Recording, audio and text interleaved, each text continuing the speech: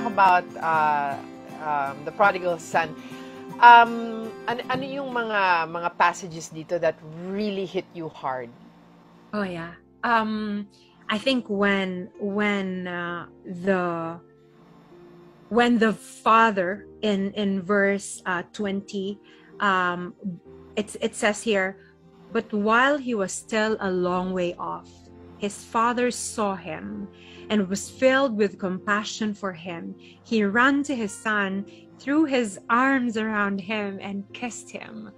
That that's just so beautiful, Miss Joyce, because I feel like that's exactly how I felt when I was going back to the Father and I was and I realized how how filthy my life was, kung paanong parang sinayang ko yung buhay ko, parang ginawa ko yung mga bagay na hindi niya kinatutuwa alam mo yung pakiramdam nung younger son na parang ang dami kong ginawang hindi maganda, hindi na ako karapat dapat na tawaging anak ng tatay ko.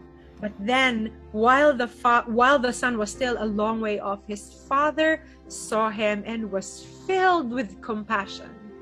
Filled with compassion. And I feel like I don't deserve that compassion from the father, but then he gave it to me. He threw his arms around me, kissed me, and and said, "Welcome back, my daughter. Welcome back, my wow. daughter." At siya pa ang tumakbo, 'di ba? Papunta ka lang pero the father just, you know, just said, ah! Yeah. siya yung mas excited. Yeah. And and in 24, verse 24 it says, "For this son of mine was dead and is alive again. He was lost, but now is found." And so they began to celebrate. You know that feeling of alam alam ng tatay ko kung gaano kadumi yung buhay ko at kung ano yung mga bagay na ginawa kong hindi kaaya-aya sa kanya.